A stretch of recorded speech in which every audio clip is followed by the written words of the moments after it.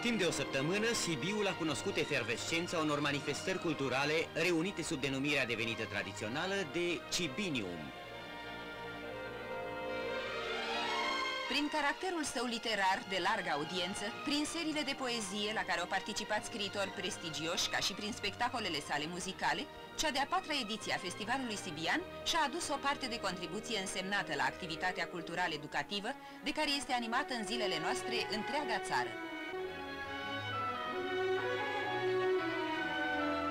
N-au lipsit de la competiția pentru frumos nici Muzeul de Artă Populară din Comuna Galeș, nici seara de balade populare.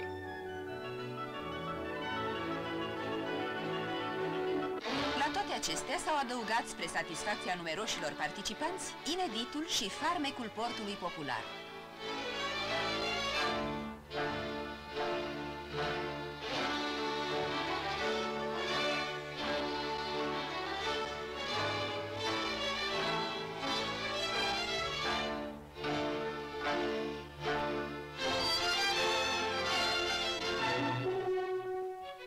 Culesul aurului galben a început în cele mai multe zone ale țării.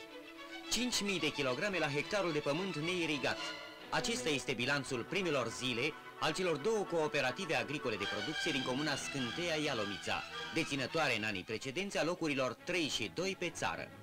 Nu ne rămâne decât să le urăm ca anul acesta să intre și în posesia mult râvnitului loc întâi.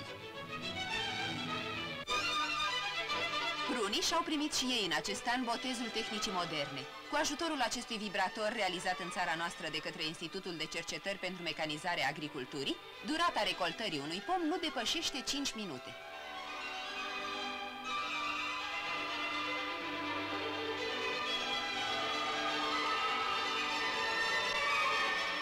Nici la vița de vie, belșugul nu se arată mai puțin darnic. Din soare, pământ și trudă s-au născut prin metamorfozare acești ciorchini.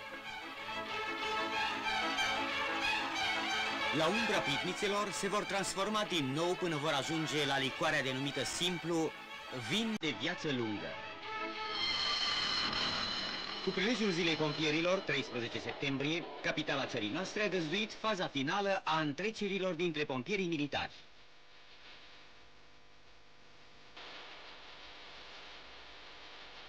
Un adevărat examen de pricepere, dârzenie și voință colectivă, pusă în slujba apărării avutului obștesc.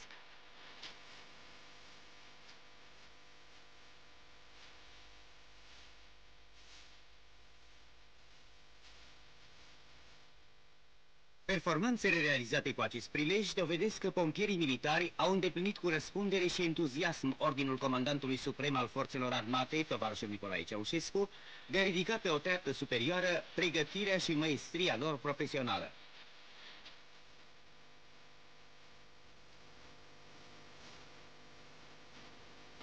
La sfârșitul competiției, cei mai buni n-au mai avut de înfruntat înălțimile uriașilor scări, ci simpla și triumfala scară de onoare.